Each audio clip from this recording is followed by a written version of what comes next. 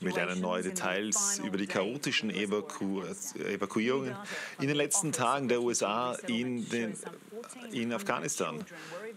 1450 Kinder wurden in die USA ohne Eltern evakuiert.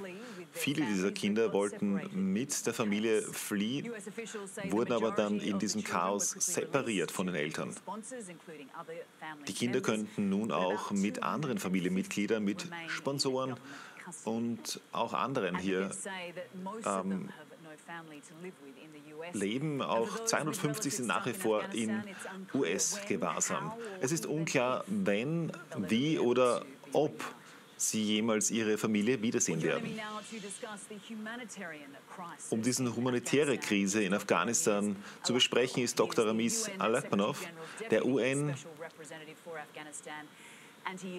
Spezialbeauftragter ähm, für Afghanistan. Schön, dass Sie da sind. Die Situation in Afghanistan die UN hat seit Monaten Alarm geschlagen.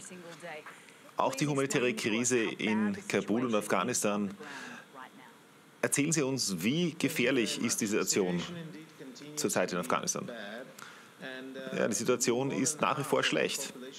Mehr als die Hälfte der Population ist in Unterernährung oder in einer Art von Unterernährung oder haben auch limitierten ähm, Zugriff auf Essen. In den Wintermonaten haben Kinder auch keinen Zugriff auf Essen. Dann kommen sie ins Spital und dort gibt es keine Heizung und dort ist das wieder ein Herd für Infektionen. Was wir sehen, ist eine sehr starke Wintersituation am Boden. Die Menschen haben keine Löhne bezahlt bekommen in vielen Sektoren. Wir tun unser Bestes, um hier auch Assistenz zu sorgen.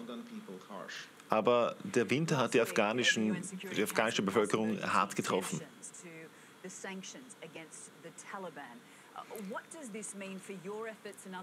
Was bedeuten die Sanktionen gegen die Taliban auch für ihre, ähm, für ihre Anstrengungen hier, um den Menschen zu helfen, die es brauchen? Uh, die Adaption der neuen Lizenzen hier ist auf jeden Fall eine, ein, eine Bewegung in die richtige Richtung. Wir hatten einen guten Zugriff. Und diese neuen Lizenzen, die wird uns helfen, auch hier die Wirtschaft von Afghanistan nach oben zu fahren. Und die Menschen müssen wieder zur Arbeit gehen und auch wirtschaftliche Transaktionen hier tätigen, um auch, damit auch die Banken funktionieren. Ich glaube, wir sind in einer besseren Situation.